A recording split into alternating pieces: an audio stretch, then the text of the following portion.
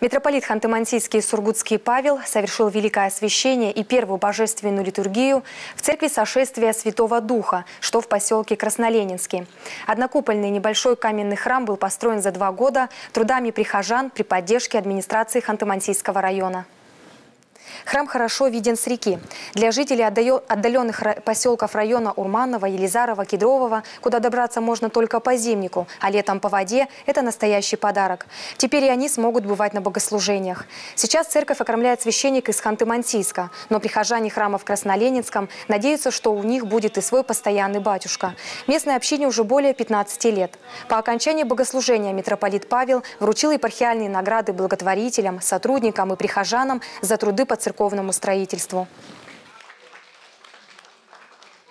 Это не только праздник Ханты-Мансийской епархии, но всей Русской Православной Церкви. Ибо одним жертвенником освященным стало больше.